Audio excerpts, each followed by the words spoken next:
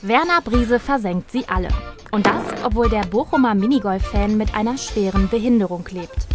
Weil seine Mutter in der Schwangerschaft das Schlafmittel Contagan nimmt, kommt er mit nur einem kurzen Arm auf die Welt. Für ihn jedoch absolut kein Grund, auf seine Lieblingssportart zu verzichten. Die Herausforderung, die juckt mich. Das reizt mich einfach mal, was anderes zu machen wie andere.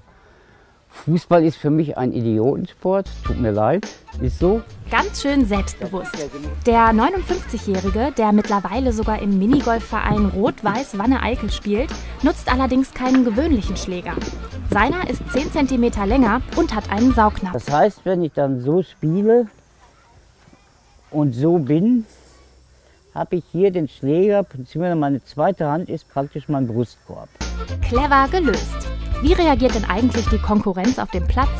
Schöner Effekt ist nebenbei, dass mittlerweile, dass ich besser bin als einige andere und manche Leute darunter, die hassen mich vielleicht sogar, weil sie nicht verstehen können, wie man mit einem kurzen Arm trotzdem noch so gut Minigolf spielen kann.